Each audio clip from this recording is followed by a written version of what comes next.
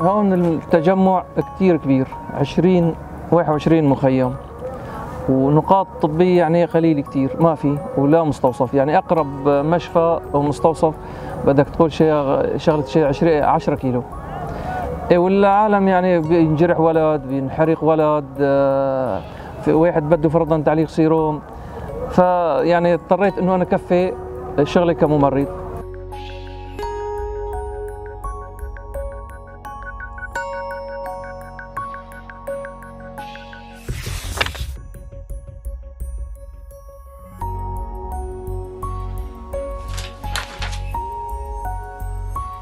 أنا إسماعيل نعسان أبو علي من ريف إدلب الجنوبي. كنت عم بشتغل ممرض في مشافي ريف إدلب الجنوبي. آه، صار قصف يعني كثير كبير على القرى وعلى المشفى والمشفى طلعت خارج العمل. كان بالضيعة آه، قصف كثير يعني والولاد قعدوا يخافوا كثير يعني عندي بنت صغيرة عمرها سنتين ونص وقت اللي تسمع الطيارة تمسك داناتها وتسكر. فجينا لهون يعني الحياة صعبة هون في المخيمات بس ولكن بدنا نتأقلم جباري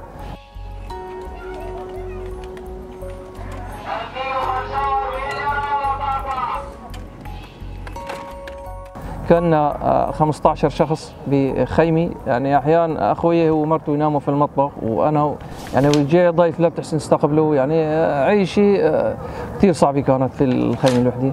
بعدين امنا خيمي وانتقلت إلى قعدنا نظبط بالخيمة من هون برداي من هون شغل يعني لحتى امنا الخيمة وقعدنا فيها أنا وكمان عائلتي وثمان أولاد. والحمد لله يعني قاعدين ومستور ولله الحمد.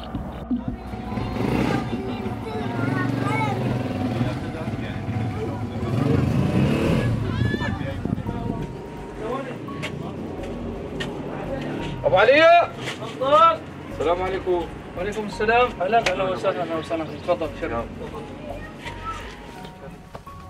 كيف وضعه اليوم؟ لا الحمد لله شو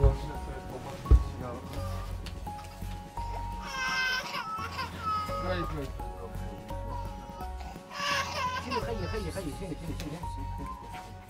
أحيانا مشان طفل بده إبري بدك تروح فرضا الصيادلي آه، بيكون بجوز مسكرين. بدهم يروحوا على المشفى وبعيدي بدهم آجار سيارة. يعني حاليا أنا عم بوفر عليهم آجار سيارة. وقت اللي فرضا ينجرح ولد أنا يبعثوا لي بالليل الساعة 10 11 الحمد لله ما تأخر بطول آه، روح خيط له جرحه. يعني ضمن آه، ضمن عملي وحسب الاستطاعة.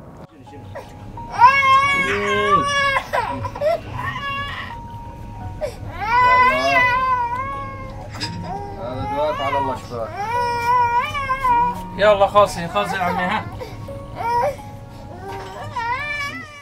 والله صعوبات يعني نقص بالمستلزمات الطبية. يعني قلت لك أنا في البداية ما جيت لهون ما عندي أي شيء. فحكيت مع أصدقائي أمنوا لي مقياس ضغط أمنوا لي جهاز رزاز أمنوا لي يعني حقيبة وفيها شوية مستلزمات. يعني عم ينقصني مستلزمات طبية بالنسبة للضمادات خياط كلها والله بعاني منها معاناة كبيرة.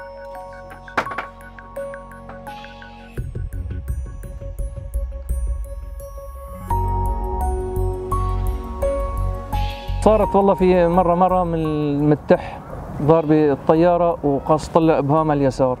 كانت عم تدفع 1500 آه، ليرة أجار سيارة لحتى تروح لمشفى مشان تبدلها. فيعني أنا وقت اللي دريت رحت لعندها قلت لها لا أبغى تروحي أنا إن شاء الله كل يوم بإذن الله بروح ببدل لك. ويعني وفرت عليها كثير للمخلوقه وحالتها فقيرة جدا جدا.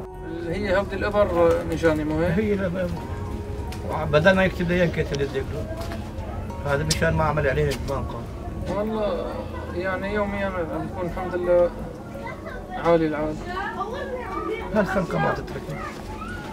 لله الحمد أمورك تمام وعالي العال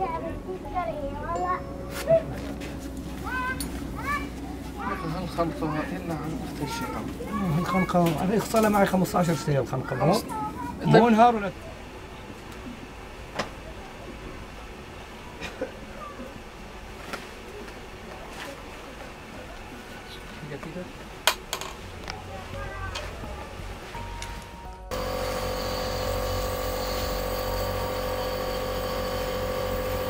حتى أنا ونايم الساعة 12 بدق علي جارنا بنته ما بتحسن قال لي تأخذ نفس ففيقني آه، فاتت المرة على المطبخ لبين ما عملت جلسة الرزاز.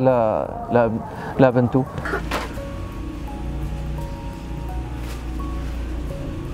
وكمان شاب من فترة مجروح هو عم يقطع حطب بدي يشغل صوبة. أو بتعرف يعني حطب.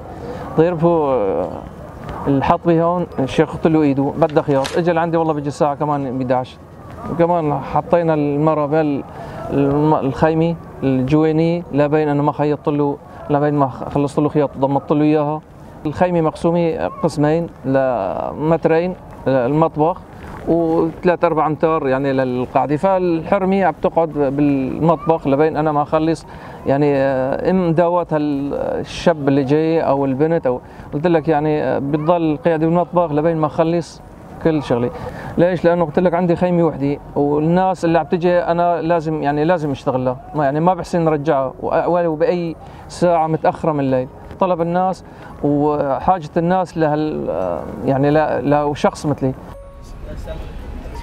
جوا تفضل يلا يلا. تفضل تفضل خذ السلام عليكم. اليوم إن شاء الله احسنت اليوم. هذه يصير معك الم شيء بالليل؟ لا مو زين إيه الحمد لله.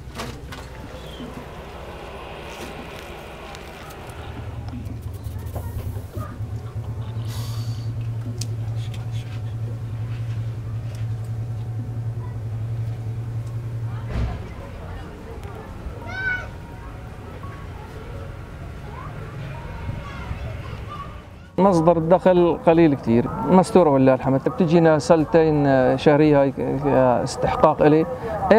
يعني آه، فيها شوي صعوبة بس ولكن بدنا نمضي إيش بدنا نسوي؟